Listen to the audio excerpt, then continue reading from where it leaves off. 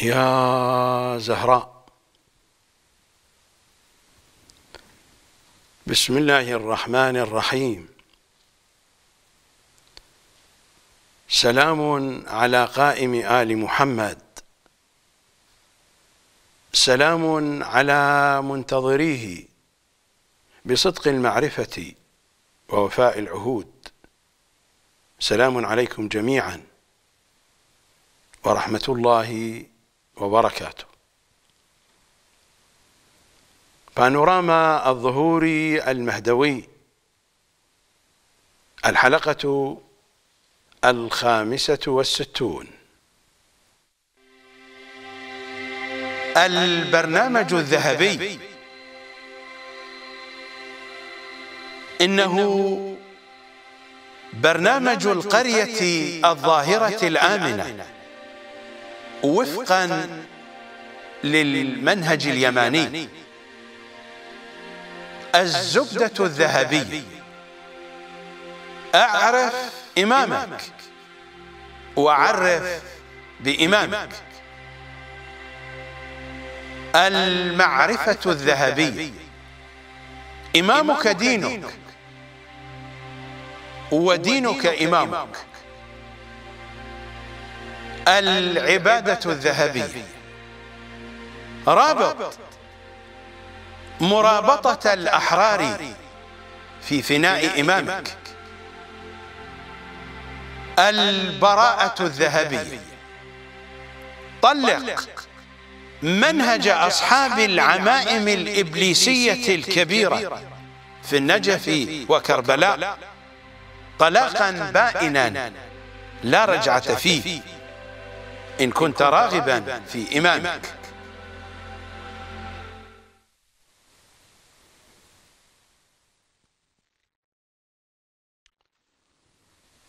ملحق بانوراما الظهور. تقدم العنوان الأول دجال سجستان. في سبعة أجزاء. وانتقلت إلى العنوان الثاني حوزة الحمير. وأعني بالحمير الحمير البشر. إذ أن الحمار الحيوان لا نستطيع أن نلومه. هكذا خلقه الله سبحانه وتعالى.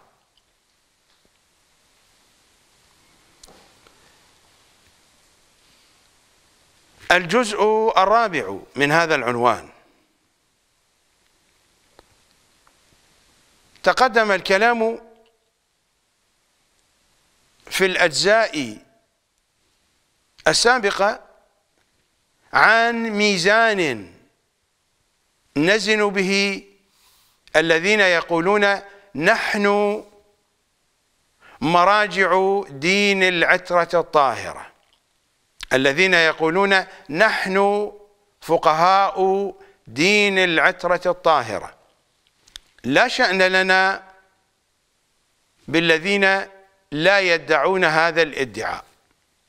إنما كلامنا مع هؤلاء الذين يقولون من أنهم نواب صاحب الأمر من أنهم علماء دين محمد وآل محمد.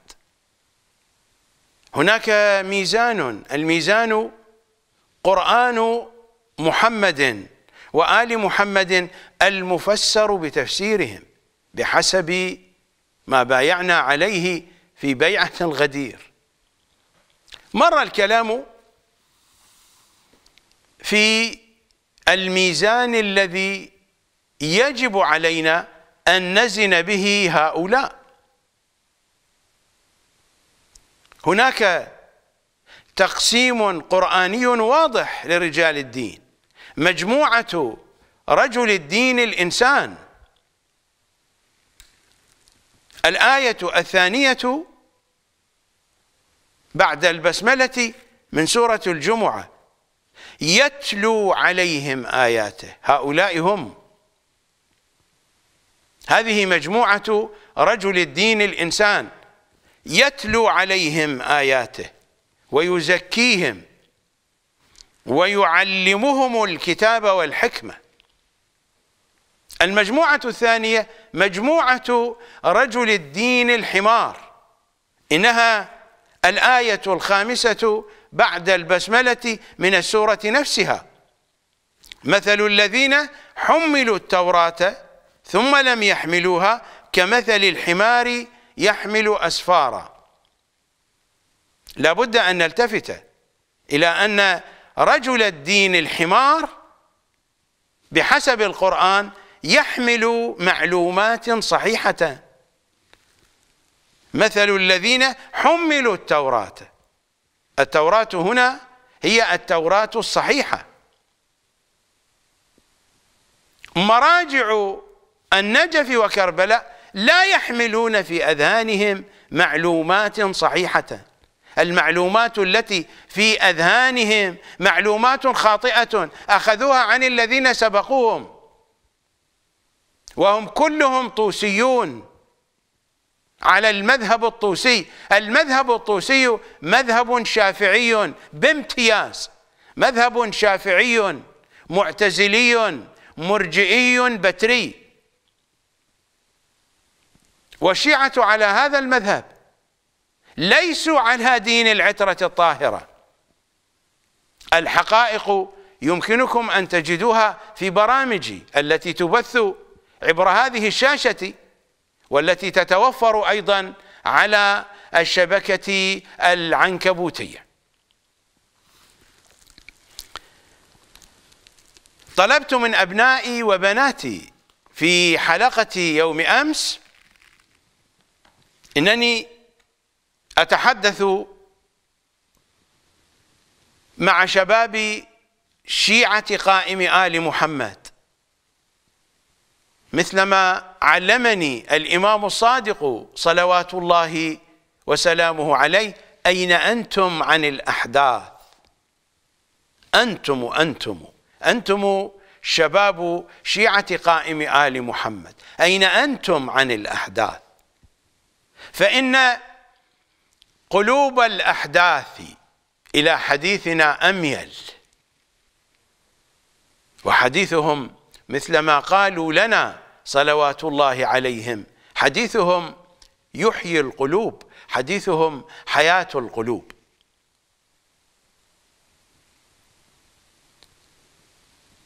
في الحلقات المتقدمة عرضت بين أيديكم نماذج من الأسماء البارزة في الحوزة الطوسية. في النجف وكربلاء وما تفرع عنها. في أي مكان في العالم. عرضت بين أيديكم أستاذ المراجع النائيني ميرزا حسين النائيني. المتوفى سنة 1355 للهجرة. عرضت النائيني وتلامذته من كبار المراجع. لا أريد أن أعيد الكلام المتقدم. وعرضت الخوئي وأشرت إلى تلامذته الذين هم من كبار المراجع في أيامنا هذه. وانتقلت إلى محمد باقر الصدر. وأشرت إلى تلامذته أيضا لأنهم على منهجه. وذكرت لكم محمد الشيرازي وكيف يوجه الشيعة إلى فكر اللعين النجس سيد قطب لعنة الله عليه. قطعا تلامذته أتباعه يتبعونه لأنهم على المنهج وما تبرأوا من منهج الضلال هذا. وطلبت منكم أن تعدوا جدولا. هناك عنوان لمجموعة رجل الدين الحمار وهناك عنوان لمجموعة رجل الدين الإنسان. وأن تصنفوا الذين يتم عرضهم في هذه الحلقات. استمروا في هذا الأمر حتى لو انتهى البرنامج. فليكن معكم دفتر ملاحظات صغير. تعدونه لهذا الأمر. أينما واجهتم معمما طوسيا أينما قرأتم كتابا لطوسي من الطوسيين فحاكموه حاكموه. هل هو من مجموعة رجل الدين الإنسان أم من مجموعة رجل الدين الحمار؟ حتى لا تخدعوا كما خدع أجدادكم وآباؤكم. لقد خدعوا أسلافنا الماضين. خدعوا أجدادنا.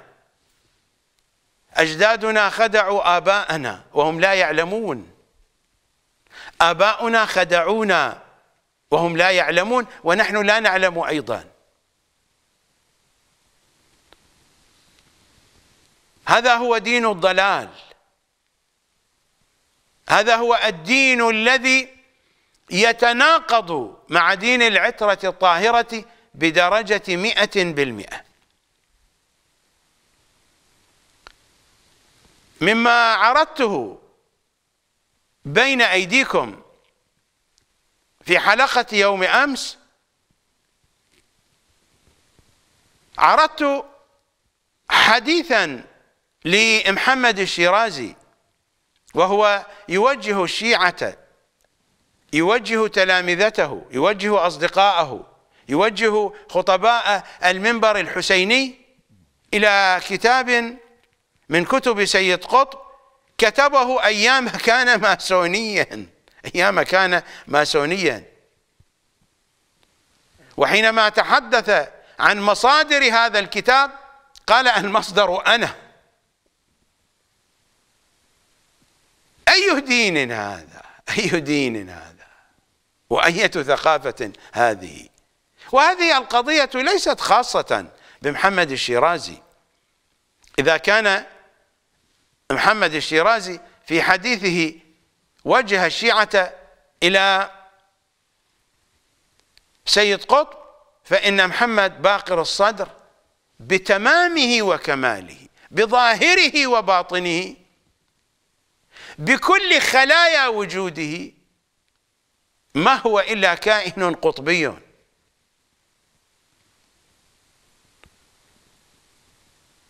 لا يعرف شيئا من دين العترة الطاهرة. إنه يتقلب بين الفخر الرازي وسيد قطب ولا يستطيع أن يخرج من هذه الزنزانة. وهذا الأمر ليس خاصا به. الخوئي كذلك. محمد حسين الطباطبائي حاله حالهم. حاله حالهم. في تفسيره الميزان. الحكاية معقدة. أنتم بالخيار إما أن تحققوا بأنفسكم وإما أن تعودوا إلى برامج وتدققوا النظر في المعلومات التي أذكرها أن تعودوا إلى المصادر التي نقلت منها. وأن تتأكدوا بأنفسكم من حقيقة ما أقول. مشكلة كبيرة مشكلة كبيرة. وهذه القضية ليست خاصة بمفسر واحد من مفسري الشيعة. ولا بعشرة ولا بمئة. أنني أتحدث عن الجميع من أولهم إلى آخرهم. لا تخلطوا إنني لا أتحدث عن جوامع الأحاديث التفسيرية. هذا موضوع آخر. جوامع الأحاديث التفسيرية كتفسير إمامنا الحسن العسكري كتفسير القمي تفسير العياشي وهكذا. هذه هي مصادر تفسير العترة لقرآنها. إنني أتحدث عن التفاسير التي كتبها علماء الشيعة مراجع الشيعة فقهاء الشيعة مفسرو الشيعة. إما أن تحققوا بأنفسكم وإما أن تعودوا إلى برامجي. وحينما أقول لكم عودوا إلى برامجي لا أقول لكم اتبعوني ولا أقول لكم قلدوني ولا أقول لكم صدقوني. وإنما تأكدوا بأنفسكم من حقيقة ما أقول. فإنني قد نبشت المكتبة الشيعية كلها بحدود ما أستطيع. وإنني أتحدث عن الكبار الكبار وعن المؤسسين المؤسسين في الواقع الشيعي منذ بداية الغيبة الكبرى وإلى هذه اللحظة. وأنا أتابع كل صغيرة وكبيرة بحدود ما أستطيع بحدود ما يسنح به الوقت وبحدود ما تعينني الطاقة البشرية المحدودة والواقعة بين حد القصور والتقصير. بحدود ما أستطيع. لقد رأيت العجب العجاب من جهل مراجع الشيعة ومن سخفهم وتفاهتهم وحماقتهم إلى أبعد الحدود. وليس هناك من تفاهة ولا من حماقة تكون أوضح من تركهم لتفسير العترة الطاهرة والتصاقهم بتفاسير النواصب التي منهجها منهج عمري واضح. حسبنا كتاب الله. النبي حينما قال عمر هذه الكلمة طرده طرده طرده. فأنتم يا أيها الشيعة تتبعون علماء طردهم رسول الله طردهم. هؤلاء مطرودون من ساحة رسول الله. مثلما طرد رسول الله عمر والروايات في البخاري ومسلم. حينما قال عمر عندنا كتاب الله وهو حسبنا حسبنا كتاب الله. النبي طرده طرده طرده وطرد جميع الصحابة الذين كانوا على رأيه. لم يبقى من الصحابة بحسب رواياتنا. إلا سلمان المقداد أبو ذر. هؤلاء بقوا لأنهم ليسوا على منهج عمر. هؤلاء على منهج علي. بحسب رواياتنا هؤلاء بقوا.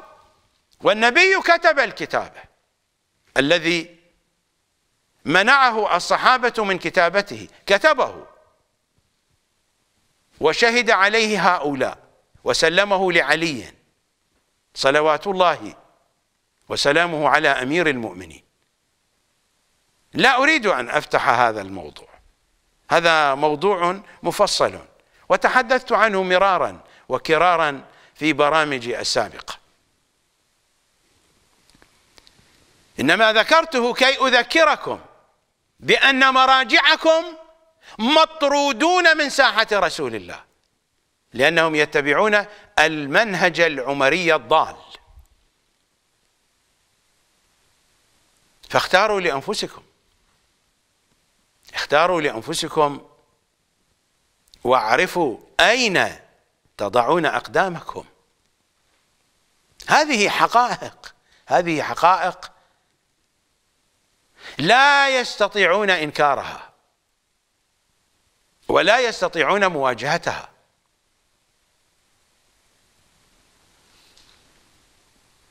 نكمل الحديث. أنا لا أريد أن أستمر في تفاصيل هذا الاتجاه لأن الحلقة ستنتهي ولن أكون قد انتهيت من الحديث. هذا موضوع واسع. ومثلما تقول العرب فإن الحديث فيه ذو شجون ذو شجون ذو أغصان. يقال للشجرة من أنها ذات شجون أغصانها كثيرة متشعبة متفرعة. فالحديث في هذا الشأن حديث ذو شجون. تحدثت فيه كثيرا وكثيرا وكثيرا جدا. ويمكنكم أن تتلمسوا ذلك في برامجي المنتشرة على الشبكة العنكبوتية. من جملة ما قاله محمد الشيرازي فيما عرضته عليكم في الحلقة الماضية بين لنا جهله بمؤلف الكتاب. كان مترددا. هل الذي ألف الكتاب سيد قطب أم محمد قطب؟ محمد قطب أخوه. أخو سيد قطب. فشيرازي كان مترددا وحائرا. هذه الحيرة هي هي عند محسن الحكيم.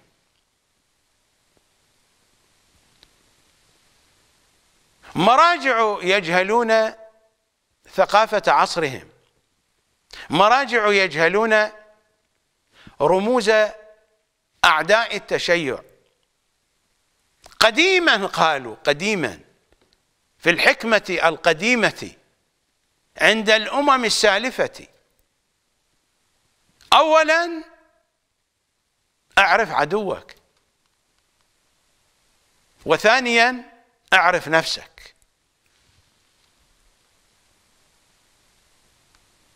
وثالثا أعرف صديقك. عليك أولا أن تعرف عدوك. وبعد ذلك عليك أن تعرف نفسك. ثم أعرف صديقك.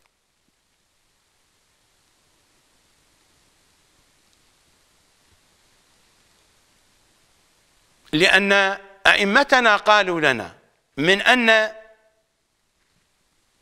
صديق عدو علي عدو علي. فلا بد أن نعرف أصدقاء أعداء علي. لأننا على هذا بايعنا في بيعة الغدير. اللهم والي من والاه وعادي من عاده وانصر من نصره واخذل من خذله الولاية والبراءة على مراتب. أمير المؤمنين بين لنا من أن صديقك من هو؟ أصدقاؤك ثلاثة. صديقك صديقك الذي تعرفه. وصديق صديقك هذا أيضا من أصدقائك بدرجة من الدرجات. وعدو عدوك هذا أيضا صديقك بدرجة من الدرجات. أما أعداؤك فعدوك وعدو صديقك وصديق عدوك. حتى نستطيع أن نوالي عليا. وأن نوالي أولياءه. وأن نعادي أعداءه. وتلك هي الولاية والبراءة العمودان اللذان يقام عليهما الدين. وإلا فإن الدين ما هو بدين من دون الولاية والبراءه وهذا هو منطق القرآن من أول حرف فيه إلى آخر حرف فيه. وهو هو منطق الزيارات والأدعية والمناجيات والروايات الكثيرة عن محمد وآل محمد. صلوات الله وسلامه عليهم أجمعين. محسن الحكيم المرجع الأعلى في زمانه هو الآخر لا يدري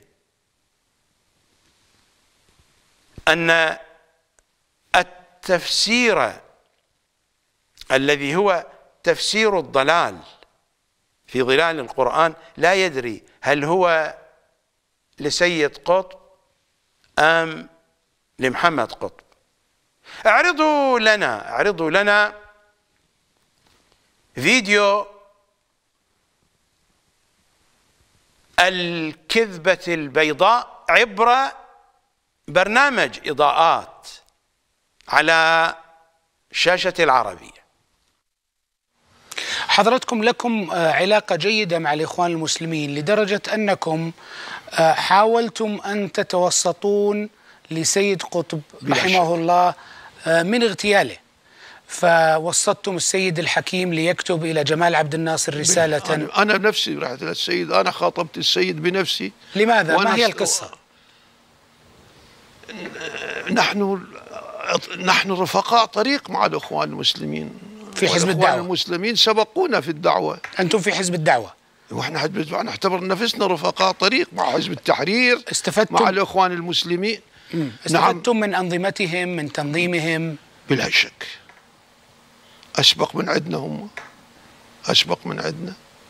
وكانوا يعطونكم مثلا تنظيماتهم ويتعاونون كنا معكم؟ نلتقي كنا نلتقي. يعني أنا قبل بداية حزب الدعوة لما تشكل اجى عندي إلى غرفتي في مدرسة القوام رعيل من المسلمين منهم من حزب التحرير ومنهم من الإخوان. ونحن أيضا التقينا معهم أنا والسيد سيد مهدي الله يرحمه والسيد محمد باقر الحكيم رحمة الله عليه. سيد مهدي الحكيم. سيد مهدي الحكيم وأنا وسيد التقينا بهم وأخبرناهم وباركونا وكانوا على علم مما نعمل يعني. ولذلك لما لما آه، قرر جمال عبد الناصر أن يقيم أن يغتال سيد قطب أردتم أنتم أن توقفوا هذا الحكم؟ فرحت للسيد الحكيم وطلبت أقدر أقول لك يعني ليلة ليلة إذاعة البيان في, في الحكم بإعدام سيد قطب أقدر أقول لك ما نمنا تلك الليلة. وين كنتوا ذاك الوقت؟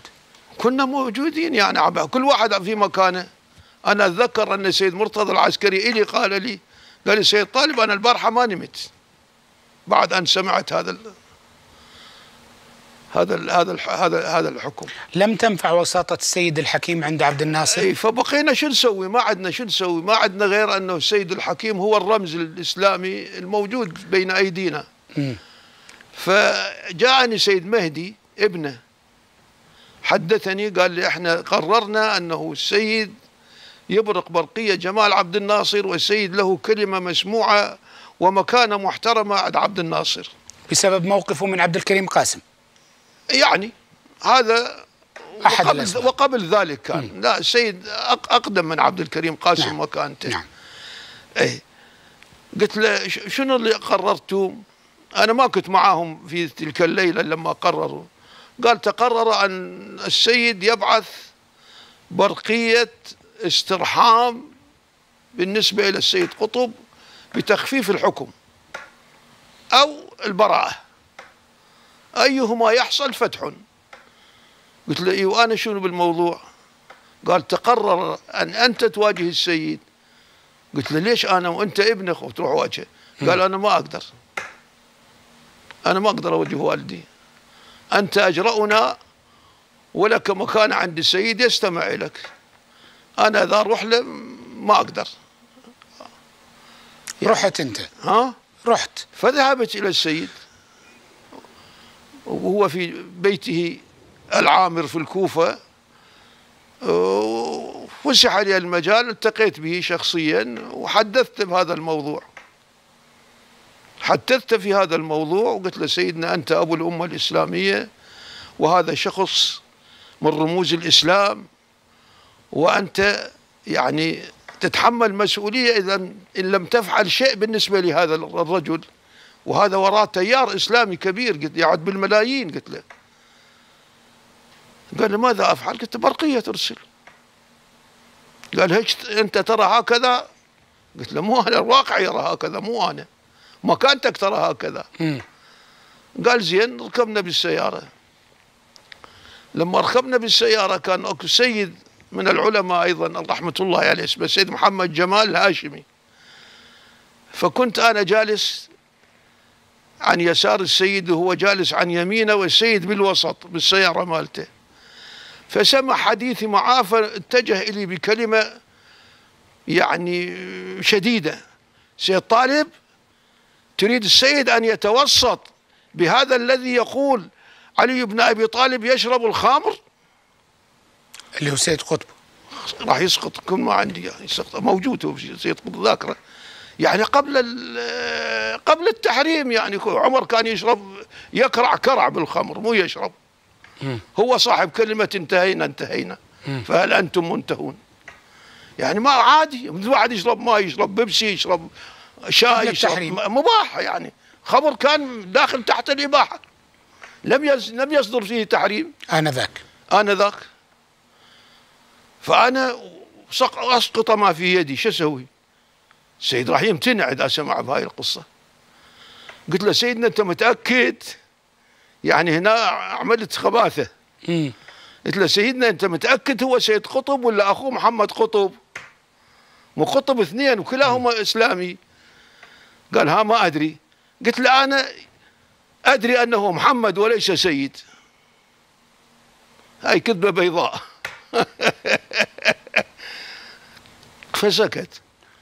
فكتب برقية السيد. فالسيد قال لي بعث أنا انتهى دوري اخبرت السيد مهدي. قلت له أنا السيد هيأت لأن يبعث البرقية فأنت اتصل به إيه. فراح للسيد مهدي قال له روح للسيد محمد تقي الحكيم خليه يكتب البرقية و- وأنا اوقعها سيد محمد تقي الحكيم أديب وعالم ومفكر ورجل يعني مواصفات كبيرة وعظيمة عنده. وأستاذنا هو أستاذي وأستاذ سيد مهدي وأستاذنا يعني. نعم. ربانا تربية يعني. سيد محمد تقي الحكيم هو الذي كان يقول لي سيد طالب اقرأ كل شيء لتكون شيئا. يا سلام. ما يتوقف. أقول له ما تخاف علي أروح منا منا قال لا. الآن ما نخاف عليك. فكتب الرسالة وبعثت إلى عبد فكتب الناصر. فراح سيد مهدي بأمر والده كتب سيد محمد تقي الحكيم البرقيه واخذها سيد مهدي أبرق. أنا دوري تهيئة السيد فقط. مرجع الأمة لا يعرف شيئا. وذلك الذي بجانبه مستشار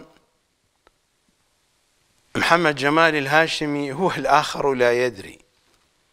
وهذا الذي يدري يكذب عليه.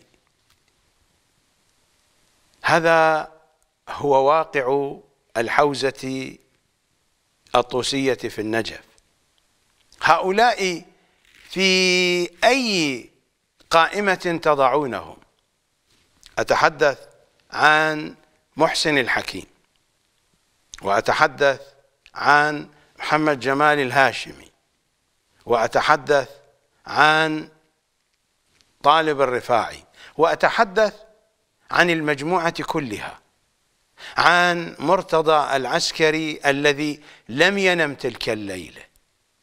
عن محمد باقر الصدر الذي أغمي عليه حينما سمع بخبر إعدام سيد قطب.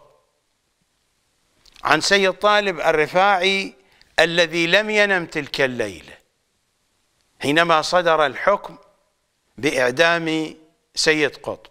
عن وعن وعن في أي قائمة تضعونهم؟ في قائمة رجل الدين الإنسان الذي يأخذ دينه من قرآن محمد وآل محمد المفسر بتفسيرهم فقط ومن حديثهم المفهم بتفهيمهم فقط أو أنه يكون غارقا في قذارات نواصب سقيفة بني ساعد. في أي قائمة تصنفون هؤلاء؟ أنا لا أريد أن أعلق كثيرا لكن سيد طالب قال من أن مهدي الحكيم تمنع أن يذهب إلى والده. هو لا يخشى والده. لطالما ضحك على والده مثلما يضحك سيد طالب الرفاعي المشكلة أين؟ محسن الحكيم كان يعتمد على ولده محمد رضا. في الأمور التي ترتبط بشؤون المرجعية مع الحكومة. وكان لمحمد رضا تأثيرا كبيرا على أبيه. قد يكون أكثر من تأثير مهدي الحكيم. محمد رضا كان على علاقة وثيقة بالبعثيين. وهذا موضوع مفصل. كان على علاقة وثيقة بالبعثيين وعلى علاقة وثيقة بالقوميين. مهدي الحكيم كان على علاقة وثيقة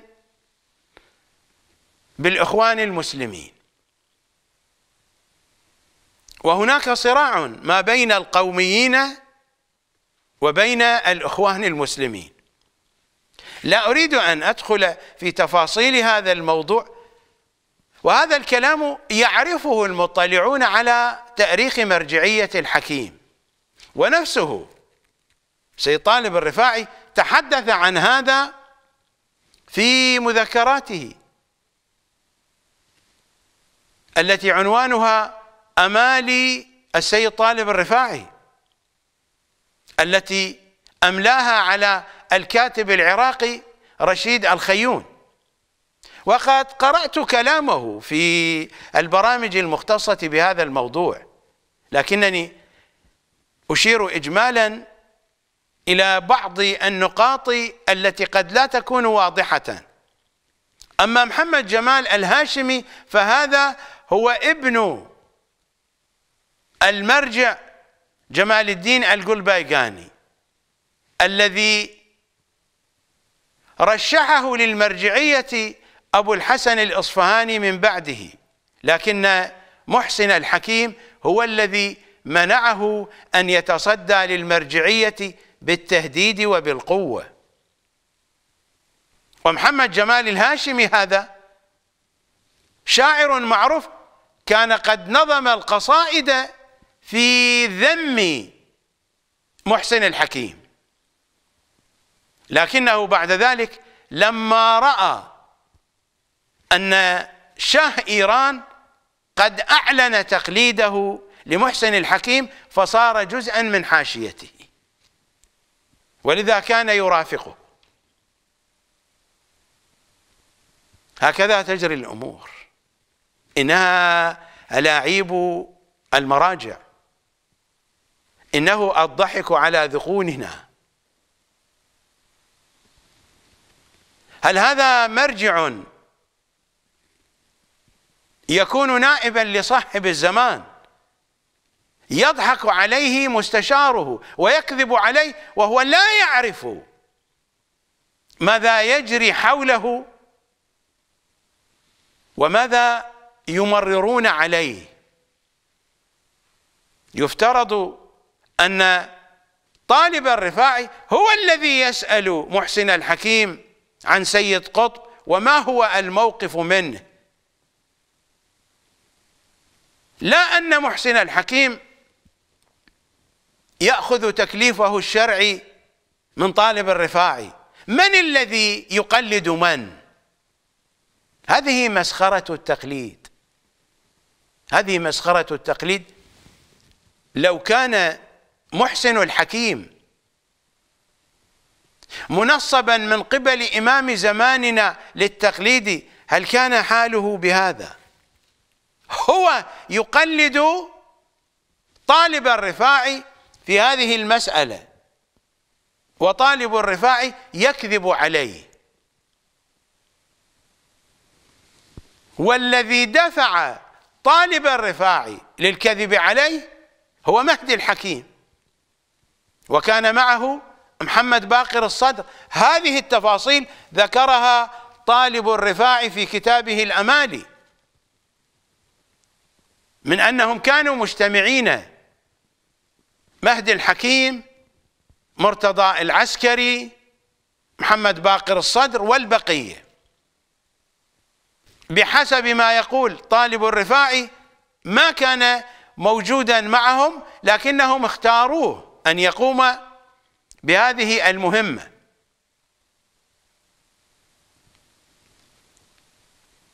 ماذا تقولون عن هؤلاء؟ أخاطب أبنائي وبناتي لا شأن لي بكبار القوم. هؤلاء حتى إن وافقوني فهم شياطين خرس. لن ينطقوا بالحق. أنتم أنتم يا شباب شيعة قائم آل محمد. أنتم شخصوا الأمور بأنفسكم. ولا تثقوا بأصحاب العمائم. هؤلاء هم أصحاب العمائم. وهذا طالب الرفاعي أحد مؤسسي حزب الدعوة. هذا هو حاله. ومحسن الحكيم اختاره مستشارا له. كان يعتمد عليه اعتمادا كبيرا. فهكذا تكون الاستشارات وهو يتحدث عنها بكل جرأة. في الفضائيات. عمار الحكيم حفيد محسن الحكيم يفتخر بهذا الهزال. رجاء اعرضوا لنا الفيديو. كذلك الحزب الإسلامي العراقي وهو حزب, حزب سني المذهب لكن عند تأسيسه كان يحتاج إلى غطاء شرعي ولم يحصل على هذا الغطاء من العلماء المتوفرين آنذاك في دائرة مساح ومساحة علاقاته فجاء إلى الإمام الحكيم وأخذ التبريك من الإمام الحكيم والغطاء الشرعي للعمل السياسي للحزب الإسلامي. وتعرفون أن الحزب الإسلامي في تلك المرحلة حينما ذهب ليسجل نفسه حزبا في الدولة العراقية قدم الإمام الحكيم كمرشدا عاما للحزب الإسلامي في الوثائق الرسمية للتأسيس. الرسالة التي أرسلها إلى جمال عبد الناصر يحذره من إعدام الشيخ قطب السيد قطب وهو من علماء الإسلام والمؤلفين المعروفين إلى غير ذلك ولم تكن له مصلحة خاصة مباشرة مع السيد قطب سوى أنه انتصر لعالم إسلامي يتعرض إلى الإعدام في دولة مسلمة وعربية. انتصر لسيد قطب وهو لا يعرف عنه شيئا. ما قاله عمار الحكيم وهو يعدد مناقب جده محسن الحكيم من أنه سجل حزب الإخوان المسلمين في العراق هو الحزب الإسلامي.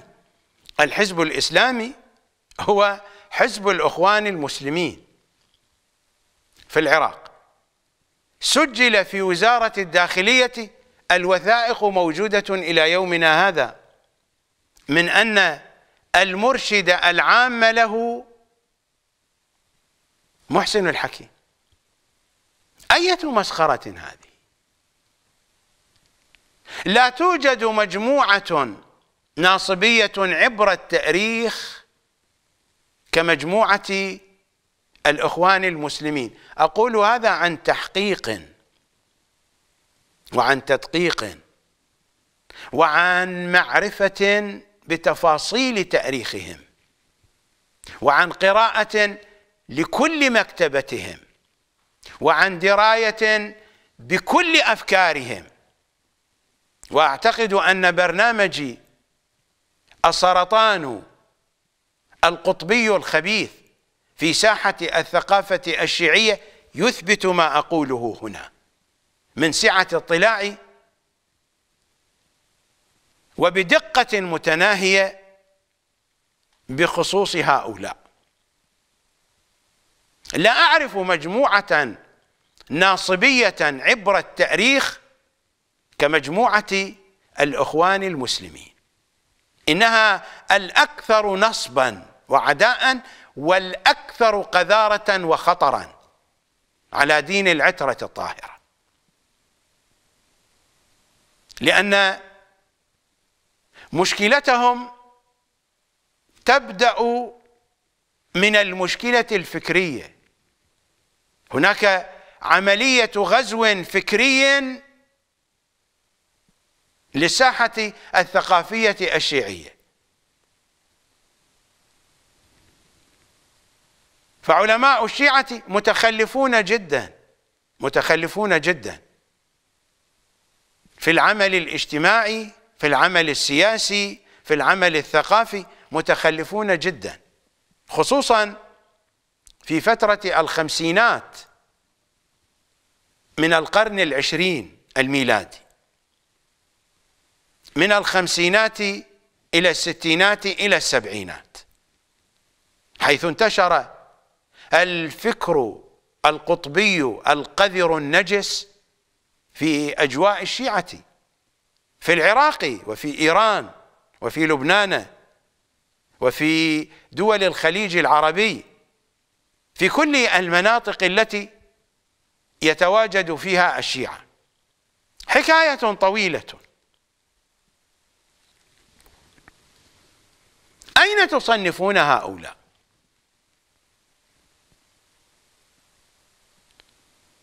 حينما يفتخر عمار الحكيم بهذه المناقب العظيمة.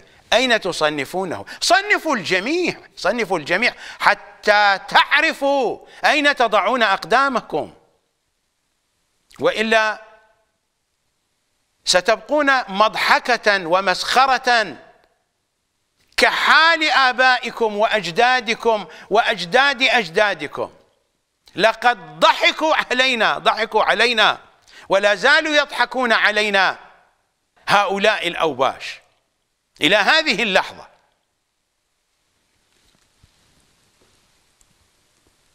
نفسه نفسه طالب الرفاعي وهو حي هو حي يرزق.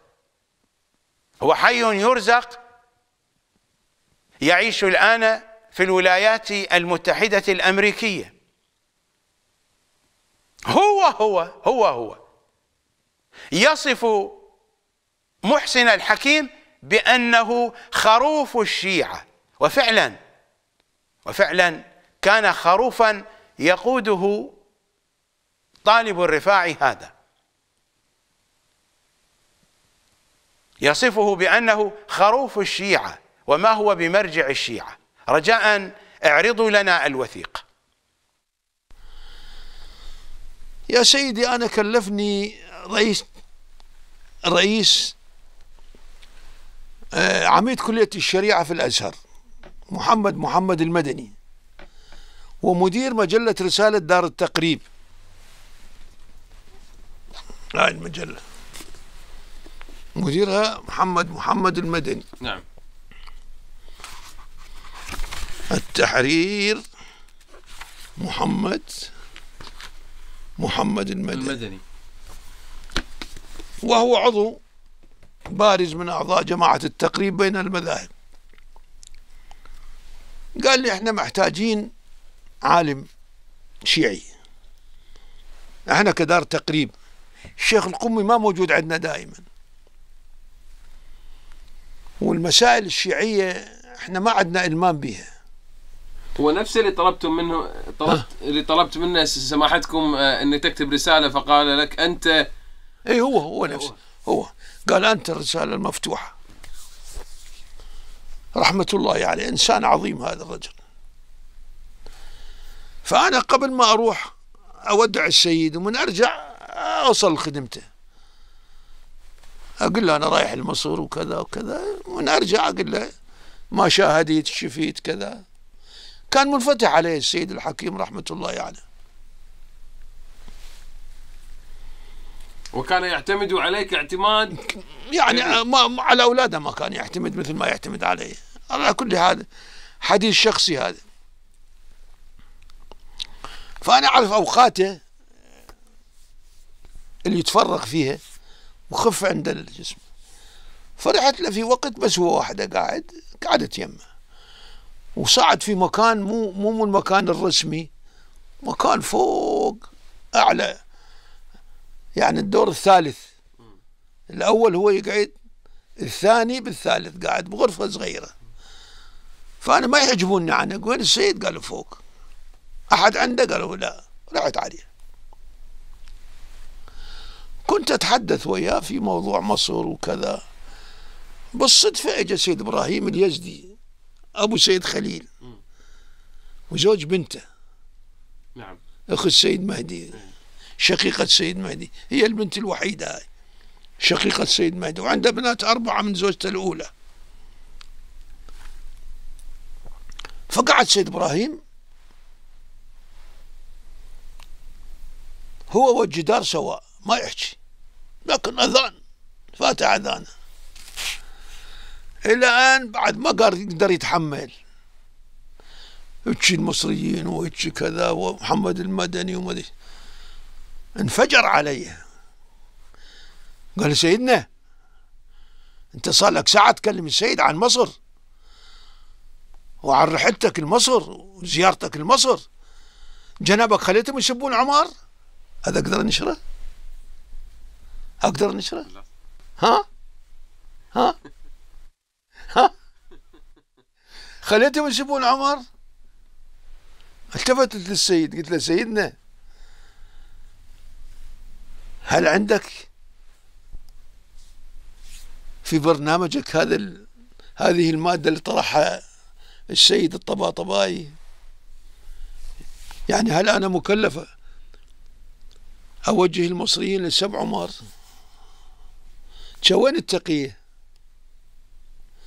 اللي يقول عنها الإمام مذ ديني التقية ديني ودين آبائي. فهذا السيد يريدني أخرج على جعفر بن محمد. السيد صار كالجدار لا يجاوب لك لما شاف حجتي قوية جر سيد محسن طيني إيدك. قم قم سيدنا قم! إي والله جرب. شاله؟ ونزله ونزل للبراني. وأنا ظليت قاعد وحدي. السيد محسن ما علق. ها؟ والسيد محسن ما علق. بس عيوناته تبص علي يعني. ما صاير هذا الموقف قد فأنا قاعد تبكي قلت هذا المرجع ولا هذا خروف؟ هذا مرجع الشيعة ولا خروف الشيعة اللي جرى سيد إبراهيم مثل الخروف قدامي. أقدر أكتب هذا؟ حتى لو كنت أملك مليون جرأة. وتوهين السيد محسن وتوهين بالمرجعية. نعم. وتوهين بالشيعة يعني هاي الشيعة. هذا بعد يقولون يعني الشيعة دينهم سبع عمر. ما أقدر أقدر. نكمل الحديث. كم لحد افتحها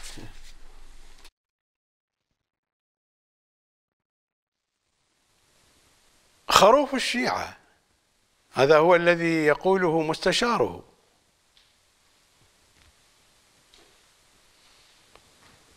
مثلما أقول لكم دائما الذي يجري في الكواليس هو غير الذي يعرضونه لكم على خشبة المسرح.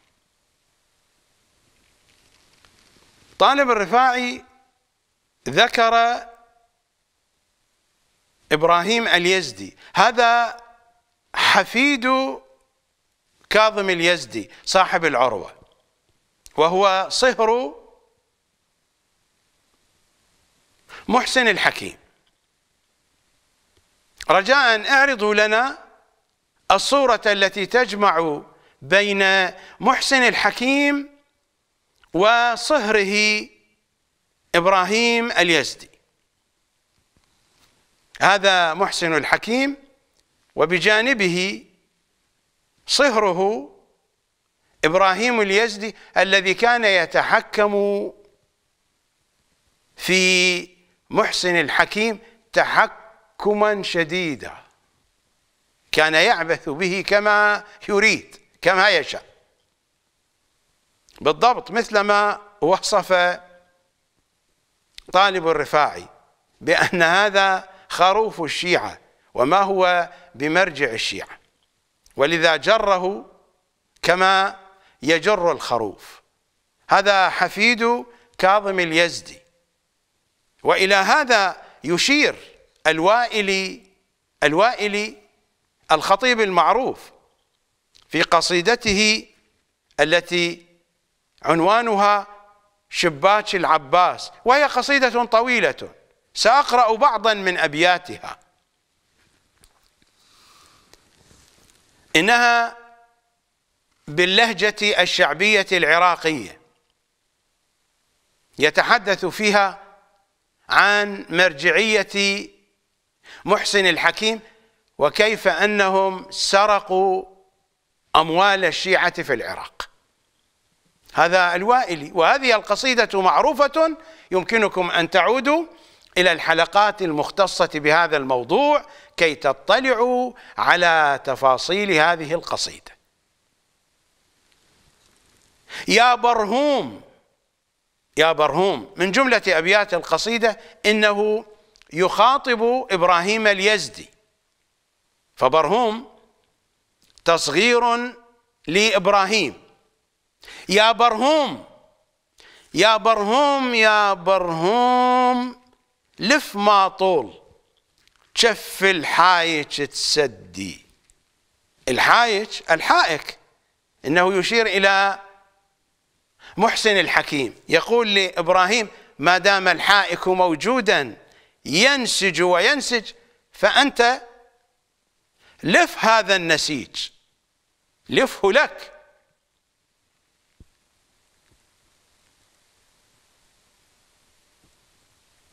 يا برهوم يا برهوم لف ما طول شف الحايج تسدي من قبلك بنسوقيا جدك كاظم اليزدي. هذه الأسواق التي بناها كاظم اليزدي في الكوفة من أموال الشيعة. ما كان يعطي الحقوق الشرعية. كاظم اليزدي المقدس العظيم. سرق الأموال وبنى بها أسواقا في الكوفة وبنى حماما وبنى وبنى وترك ذلك لأولاده وأحفاده. وهذه الحكاية يعرفها المطلعون على تاريخ النجف وتاريخ الكوفة. والوائل يشير إلى هذه الحقيقة وهي حقيقة معروفة.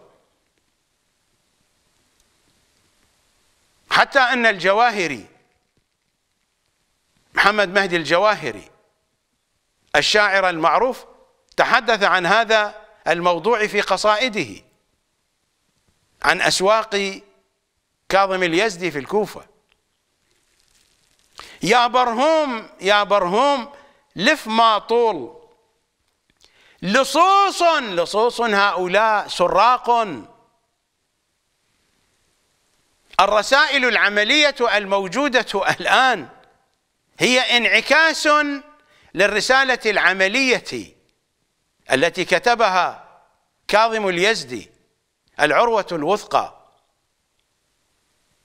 مسائل التقليد ومسائل الخمس بالنحو الموجود الآن بين أيدينا جاءتنا من هذه الرسالة من رسالة كاظم اليزدي الرسائل التي قبل رسالة كاظم اليزدي كانت تختلف بعض الشيء.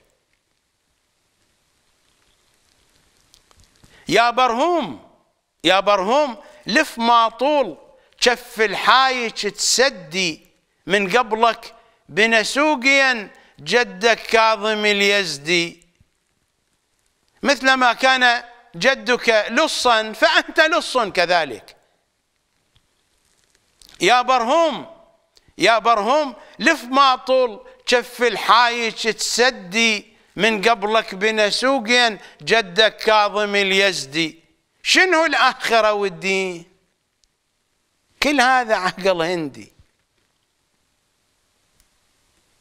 هذه ثقافة عراقية.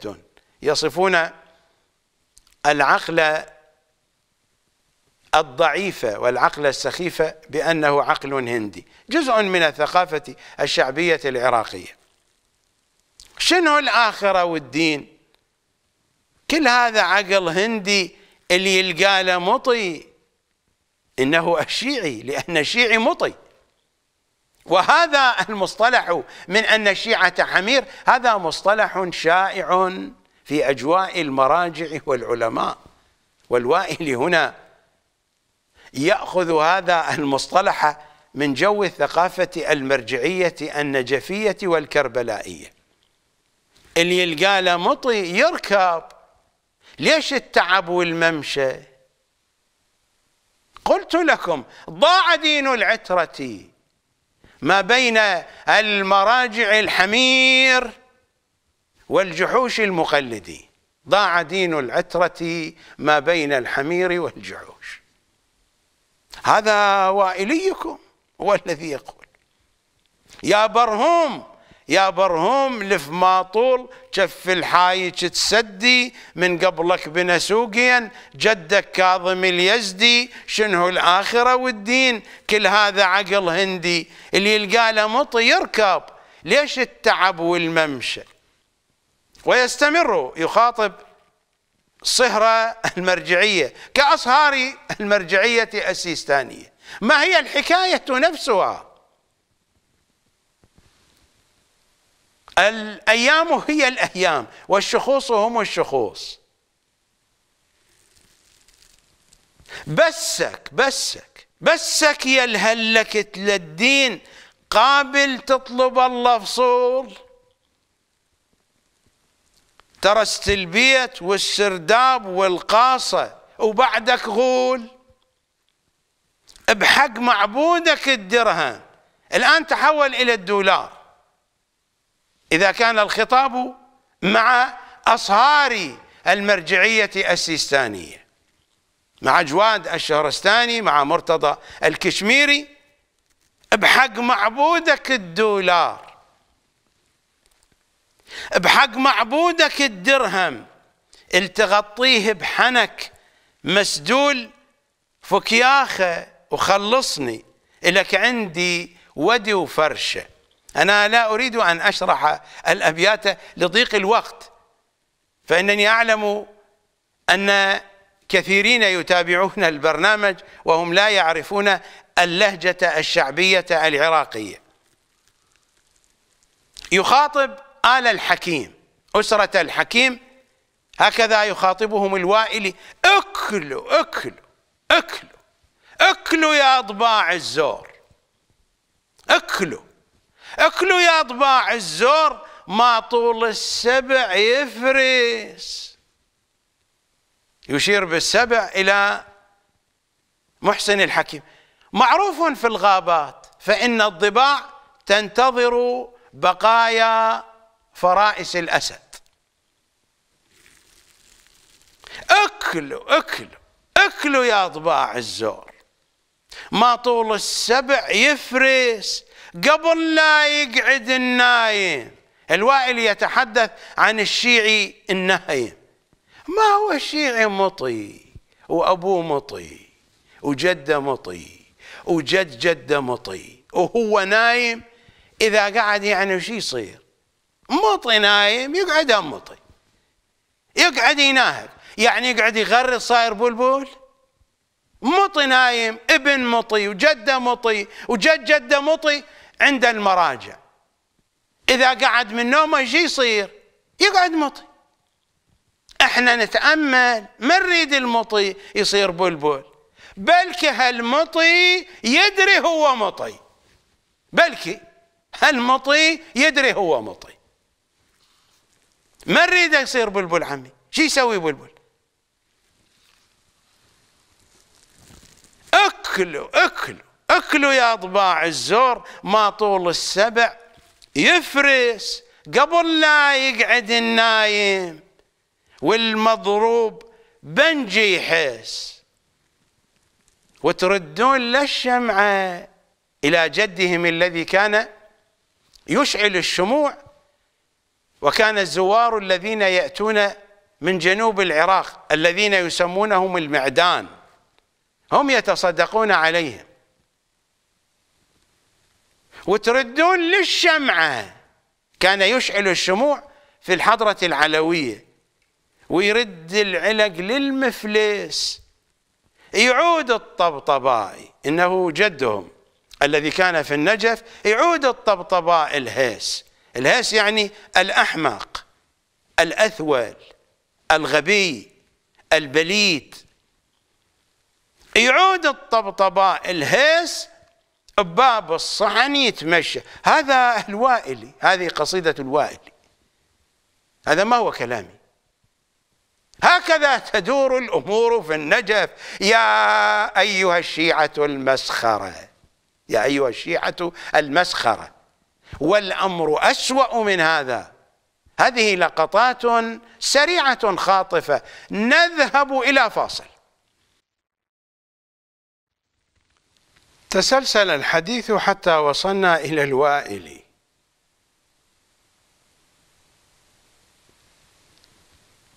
طالب الرفاعي من جيل الوائل من زملاء الوائل هو الذي يحدثنا عن الوائل.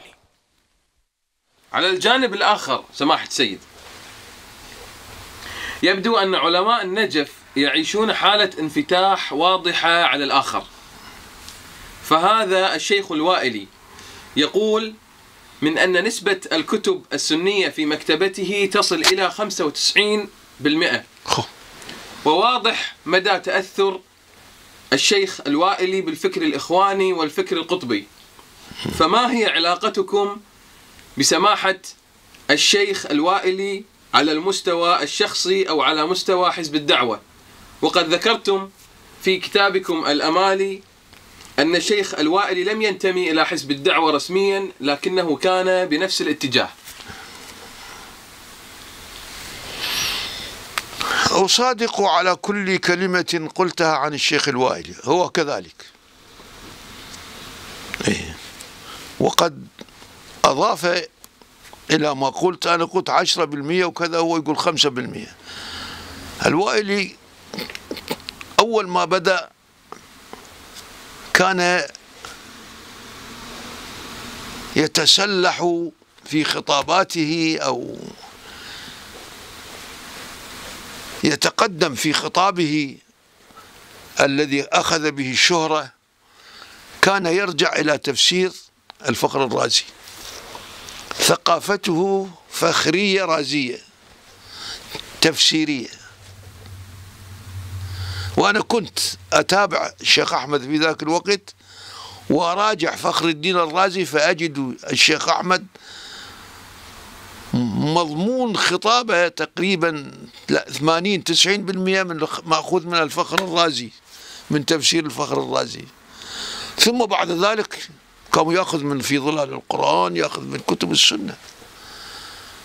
فثقافة الشيخ أحمد الوائلي مزدوجة شيعية وسنية معا. يعني هو شيع الرجل. ومن وجوه الشيعة ومنبره يعتبر المنبر الأول في العراق. نعم ما قاله صحيح. أما في قضية انتماء للدعوة كما ذكرت لم ينتمي. ولكن كان متعاطفا. وذكرت في الأمالي أنه لما احتجنا في النجف إلى آه، هاي شو يسموه الرونيوم شو يسموه؟ جهاز الرونيوم للطبع. نعم. التجأنا إليه. والرجل تبرع وجاب لنا الجهاز. وكنا نطبع به النشرات. من جملة ما قاله طالب الرفاعي ربما لا يكون واضحا عند المتابعين. قال هو ذكر بنسبة خمسة بالمئة وأنا ذكرت بنسبة عشرة بالمئة. هذا يتضح من بقية المقابلة. المقابلة طويلة. طالب الرفاعي كان يتحدث عن مكتبته ويقول للذي أجرى معه المقابلة الحوار من أن تسعين بالمئة من مكتبة هذه هو جالس فيها من كتب السنة. وإذا أردت أن تبحث عن كتاب شيعي بصعوبة تستطيع أن تجده. يعني أن نسبة الكتب الشيعية هي عشرة بالمئة. الوائلي يقول من أن كتب السنة في مكتبته هي خمسة وتسعون بالمئة. فالكتب الشيعية في المكتبة الوائلية بنسبة خمسة بالمئة. إلى هذا يشير طالب الرفاعي إذا من أين يأخذون ثقافتهم؟ من المكتبة السنية. ومن هنا فإن دينهم لا علاقة له بدين العترة الطاهرة. العالم الباحث المحقق الخطيب المؤلف. من أين يأخذ معلوماته؟ من الكتب التي في مكتبته. وهذا الأمر ليس خاصا بالوائل أو بطالب الرفاعي هذه ظاهرة عامة في مكتبات المعممين الشيعة. ادخلوا إلى بيوتهم. وإن كان أكثر المعممين لا يقرؤون. أكثر المعممين منشغلون ببطونهم وفروجهم. قليلون أولئك الذين يقرؤون ويتابعون لكنهم يأخذون المعلومات من الذين يقرؤون ويتابعون وأولئك لا يقرؤون إلا كتب النواصب إلا كتب نواصب سقيفة بني ساعد. ومن هنا نشأ العقل الشيعي نشأ عقلا ناصبيا قذرا. كثيرون من علماء الشيعة ومن عرفاء الشيعة يقولون من أن الفخر الرازي شيعي هؤلاء ثولان لأنهم شوافع ومعتزلة. الفخر الرازي شافعي بنحو الرسمي هو أشعري العقيدة. لكننا إذا قرأنا تفسيره فإن الفكرة الاعتزالية واضح جدا في تفسير الفخر الرازي. بنحو رسمي فإن الفخر الرازي هو أشعري العقيدة ليس معتزليا. لكننا إذا قرأنا ما كتبه في تفسيره أو ما كتبه في علم أصول الفقه فإن الفكرة المعتزلية واضح جدا لأن علم الأصول في جذوره الأولى في أهم موضوعاته وأهم مطالبه هو فكر اعتزالي. وإن كان الشافعي هو أول من كتب كتابا في علم أصول الفقه الرسالة الرسالة للشافعي. لكن علم أصول الفقه الذي عند السنة أو عند الشيعة. إذا بحثنا في جذوره فإنه يعود إلى الفكر الاعتزالي. لأن المصادر الأساسية لعلم أصول الفقه أهمها وأوسعها كتبها المعتزلة. وهذا الموضوع تحدثت عنه بالتفصيل وبالوثائق وبالمصادر في برنامج الخاتمة. يمكنكم أن تعودوا إلى الحلقات المختصة بهذا الموضوع.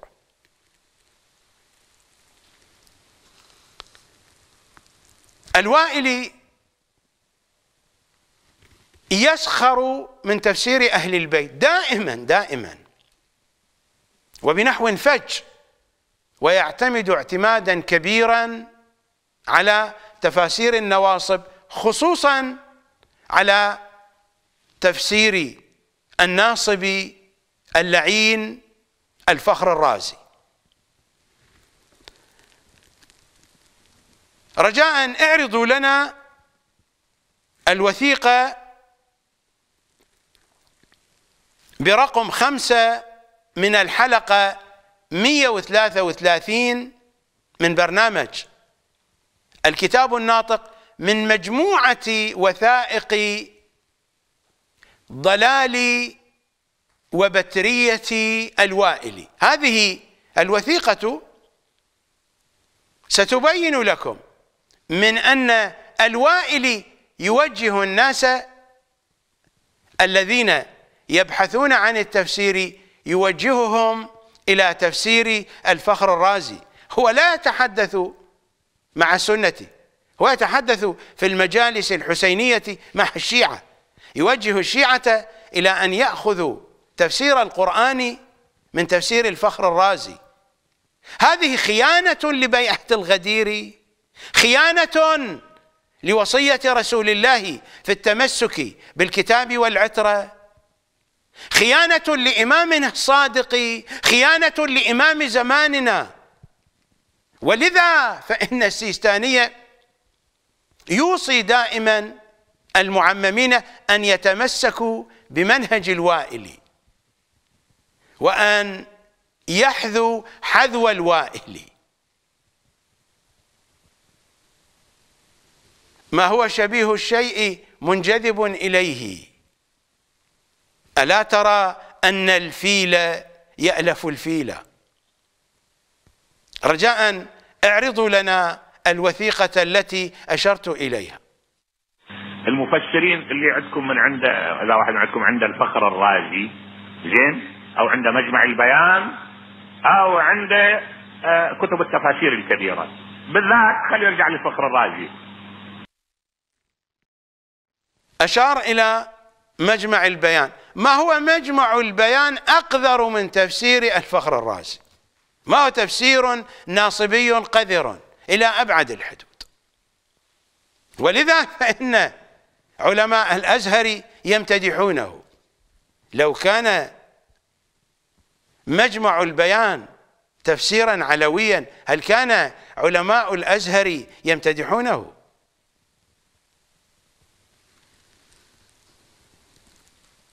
مجمع البيان هو هو تفسير التبيان للطوسي ولكنه أضاف إليه الكثير والكثير من آراء النواصب. تفسير التبيان للطوسي هو تفسير ناصبي بعيد عن منهج العترة الطاهرة من أوله إلى آخره. وقد تحدثت عنه وضربت أمثلة كثيرة من ضلال الطوسي في هذا التفسير في برنامج ما بين واقعين. إذا كنتم تبحثون عن الحقيقة فعودوا إلى هذا البرنامج. كي تطلعوا على ضلال الطوسي وعلى خراء تفسيره التبيان. فها هو الوائلي يرجع الشيعة إلى تفسير الفخر الرازي. هذا نقد لبيعة الغدير. هذا نقض لوصية رسول الله. هذا عمل بمنهج عمر الذي طرده رسول الله في حادثة رزية الخميس. هؤلاء الشيعة الذين يأخذون دينهم من الوائل. يأخذون دينهم من رجل مطرود من ساحة رسول الله. هم أيضا سيكونون مطرودين من ساحة رسول الله. هذا هو الواقع الشيعي القذر. رجاء أعيدوا بث الوثيقة. المفسرين اللي عندكم من عند إذا واحد عندكم عند الفخر الرازي زين؟ أو عند مجمع البيان أو عند آه، كتب التفاسير الكبيرة. بالذات خليه يرجع للفخر الرازي. يرجعكم إلى الفخر الرازي ولكنه ماذا يقول عن تفسير إمامنا الحجة بن الحسن؟ رجاء اعرضوا لنا الوثيقة رقم 51 من الحلقة 134 من برنامج الكتاب الناطق من مجموعة وثائق ضلال وبترية الوائلي انت شقد تلقى لك فد مفسر يجي يقول لك كاف هاي عين صاد الكاف كربلاء والهاء هلاك العتره والعين ما أدري شنو ويقوم يسطر لك من الحكي ما لا هاي تفاسير وهي بعيدة عن روح القرآن. القرآن العطاء الضخم ما يجي بها المحاولات هذه ما شلون البسيطة يعني. هاي عقلية وحدة عندها مغزل عجوز مخرفة. كلام ما يقبل بحال من الأحوال. أبدا. هاللون من التفسير لا يقبل بحال من الأحوال؟ هاي عقلية وحدة عندها مغزل عجوز مخرفة. أقرأ عليكم ما جاء في كمال الدين وإتمام النعمة للصدوق المتوفى سنة 381 للهجرة. وهذه طبعة مؤسسة شمس الضحى إيران. إنه الجزء الثاني من كمال الدين للصدوق. رواية طويلة إنها رواية سعد بن عبد الله الأشعري القمي رضوان الله تعالى عليه. حينما ذهب إلى سامراء وكان يحمل مجموعة من الأسئلة. فلما عرض الأسئلة على إمامنا الحسن العسكري صلوات الله عليه الإمام أمره أن يسأل إمام زماننا وكان صغيرا. فسأل الإمام في صغره فأجابه على أسئلته. من جملة هذه الأسئلة سأله عن معنى ما جاء في سورة مريم كاف ها يا عين صاد. في الصفحة السادسة والسبعين بعد المئة. قلت سعد يخاطب إمام زماننا في صغره. قلت فأخبرني يا ابن رسول الله عن تأويل كاف ها يا عين صاد. عن تأويل. الجواب يأتي على قدر السؤال.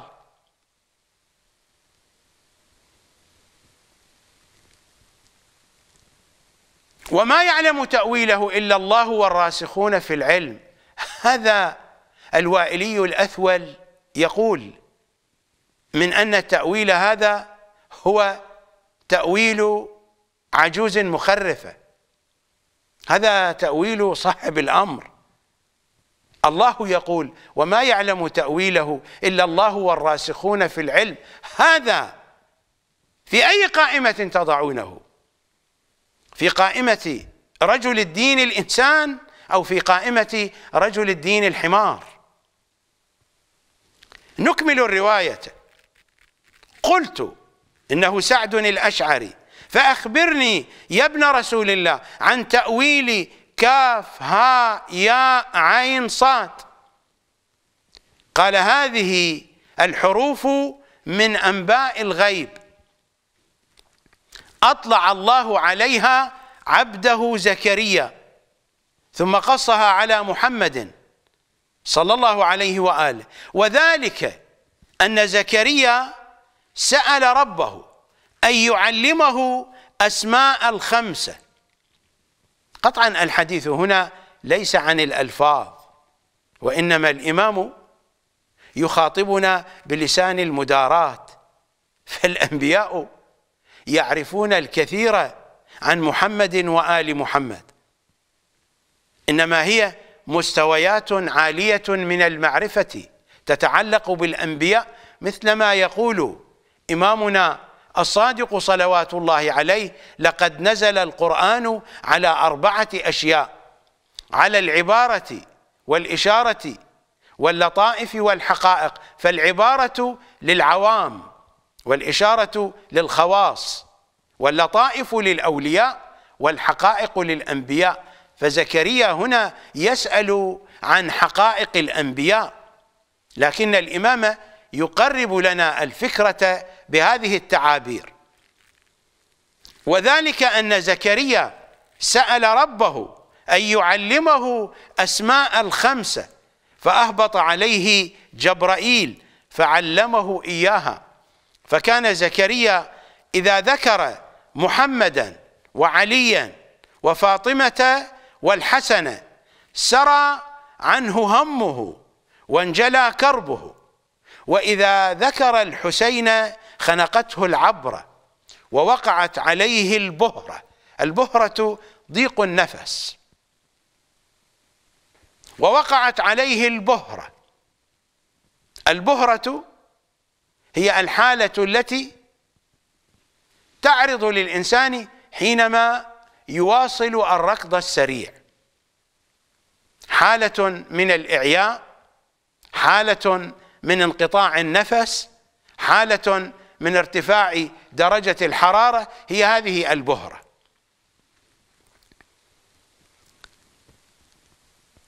فكان زكريا إذا ذكر محمدا وعليا وفاطمة والحسن سرى عنه همه وانجلى كربه وإذا ذكر الحسين خنقته العبرة ووقعت عليه البهرة. فقال ذات يوم يا إلهي ما بالي إذا ذكرت اربعا منهم تسليت بأسمائهم من همومي وإذا ذكرت الحسين تدمع عيني وتثور زفرتي. فأنبأه الله تعالى عن قصته وقال كاف ها يا عين صاد. رموز فيما بين الله والأنبياء فالكاف اسم كربلاء. فأنى للوائل ولغير الوائل أن يحيطوا علما بهذه الرموز. فالكاف اسم كربلاء والهاء هلاك العترة والياء يزيد وهو ظالم الحسين عليه السلام والعين عطشه والصاد صبره. ماذا يقول؟ والعين ما أدري شنو ويقوم يسطر لك من هالحكي. منو هذا اللي سطر لك من هالحكي؟ هذا هو صاحب الأمر. ألا لعنة الله على دينكم. ألا لعنة الله على مذهبكم الطوسي القذر؟ ألا لعنة الله على حوزتكم التي تخرجتم منها؟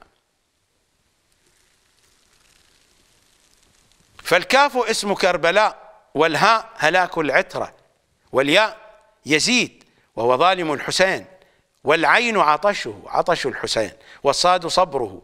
فلما سمع ذلك زكريا لم يفارق مسجده ثلاثة أيام.